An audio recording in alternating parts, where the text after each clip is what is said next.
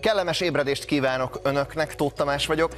Nos, elég érdekesen alakul a Kárpát-medencében a kép jelenleg, hiszen vannak télies, illetve tavaszias hőmérsékletek egy időben.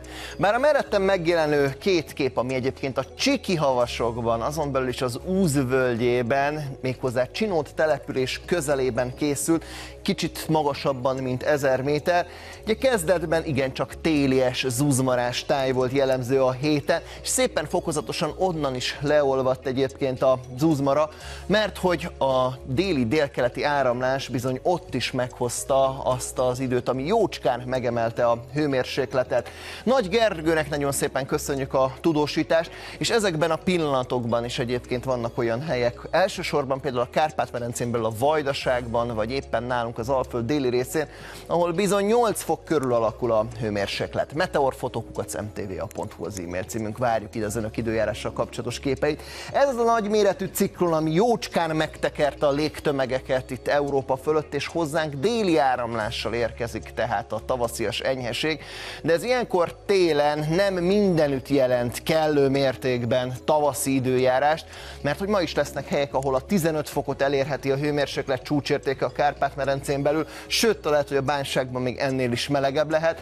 Ellenben például a Kárpát-medence legnyugatibb részein jóval alacsonyabb hőmérséklet várható, itt lehetnek tartósabb kötfoltok, illetve tartósan borult idő, és láthatják jóval a Kárpát-medencei átlag alatt alakul a hőmérséklet.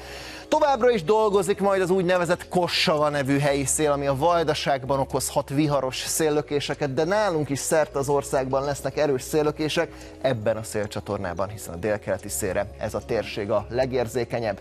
Ahogy láthatják, nagyobb területen is több órára kisüt a nap, viszont fátyol felhőzet lesz az égbolton, ami itt-ott akár jócskán szűrheti majd a nap fényét. Észak-keleten is lassan szűnik az éjszaka képződött köd, illetve párásság, így tehát arra felé felvidéken is alacsonyabban alakulhat a hőmérséklet csúcsértéke.